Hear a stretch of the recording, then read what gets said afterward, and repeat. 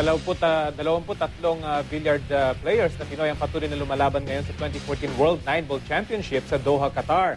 Susubukan ng ating mga kababayan na makuha ang kampinato sa naturang torneo ngayong taon.